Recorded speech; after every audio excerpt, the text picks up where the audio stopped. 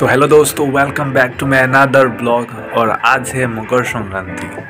तो बंगाली लोगों के लिए आज है न्यू ईयर तो आज हम लोग को सुबह सुबह उठ के नहाना पड़ता है कुछ खाने उने के लिए। और आज एक टाइप का फेस्टिवल है हम लोग बंगाली के लिए। एस लोग भी मनाते हैं। और तो मैं अभी जा रहा हूँ नहाने। नहा के आके खाना उना खाते दिखाते सब कुछ।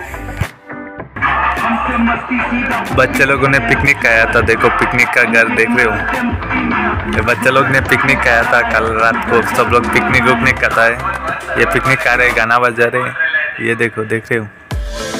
तो दोस्तों, आ गया हूँ मैं नहा के। अभी हम लोग खाना बनाने का प्रिपरेशन करेंगे। खाना बना के आज बुक देना पड़ता है सबसे पहले हम लोग का पूर्वजों को, दादाजी को और नानी को। नानी, पता नहीं क्या बोलते हैं। हम लोग तो ठाकुरमा बोलते हैं बंगाली में। तो आज खाना बनाने का प्रिपरेशन होगा। अभी मैं धनिया उठाने जा रहा हूँ। हम लोग का धनिया खेत दिखा रहा हूँ। रुको, खेत दिखा रहा हूँ। तो ये है धनिया। खेत में उगाया हुआ धनिया। देख लो ये सब धनिया है। ये थोड़ा बड़ा हो चुका है इसलिए।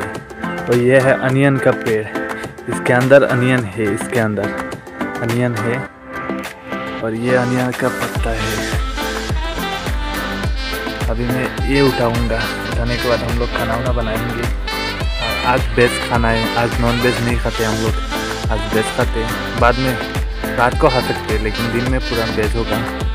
तो हम लोग अभी मैं ये उठाऊँगा, उठाने के बाद ये देख लो, सब्ज़ी भी उठाऊँगा, ये सब सब्ज़ी उब्जी कलेक्ट करने के बाद इधर से भी सब्ज़ी है, उधर भी सब्ज़ी है, उधर भी सब्ज़ी है वो उधर भी सब्ज़ी है, सब्ज़ी भी उठा के अभी हम लोग खाना रेडी करेंगे। तो दोस्तों, इसको बोलते हैं तिल का लड्डू।